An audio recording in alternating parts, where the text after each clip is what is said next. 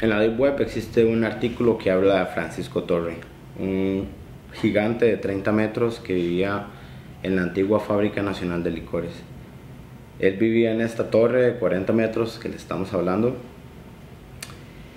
Y lo más interesante de este gigante es que heredó los planos de un instrumento musical, el cual se suspendía desde lo alto de la torre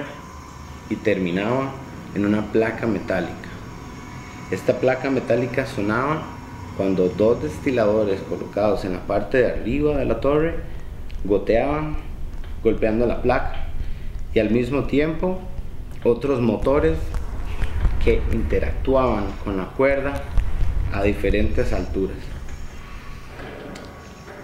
Dividimos la ciudad en tres sedes en una instalación que gracias a una cámara ubicada dentro de la torre podíamos retransmitir a estas otras sedes y conectarnos en un solo punto.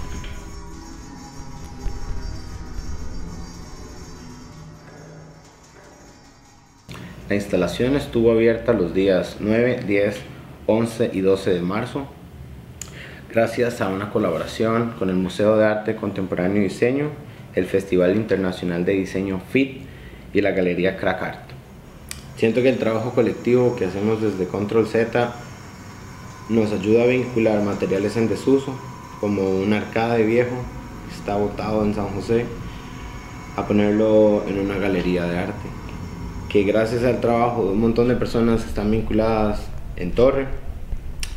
pudimos jugar con la acústica, con impresoras viejas, con metales oxidados en una fábrica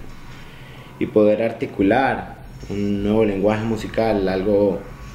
que no se empape solo de cómo suena, sino también que sea más consciente de su entorno, de los materiales que no se están utilizando, que no todo tiene que ser nuevo, sino que es más importante cómo experimentamos con estos materiales y cómo nos seducimos a nosotros y a nosotras mismas